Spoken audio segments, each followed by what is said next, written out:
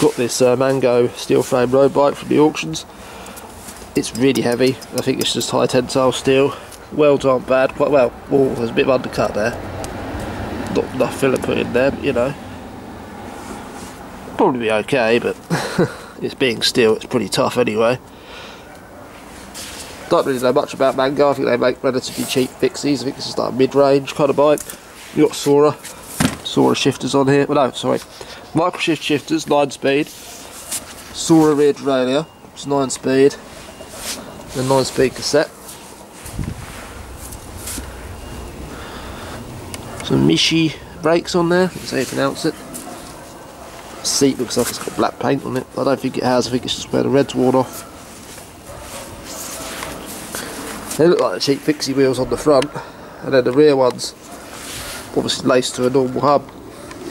It'll be a 10 speed hub. I don't reckon it's 11 speed. I think this thing's probably too old for that. Not that it matters. We'll just run the uh, stock line speed that it comes with, and uh, she'll be right. So yeah, Mango bike. Paid 22 pounds for this one, and um, yeah, also bought this Mafia here for. Uh, well, forty pounds I paid for that, but uh, that's another story. so that's in another video. But that concludes this video. Mango racing bike for twenty-two pounds. Thank you for watching.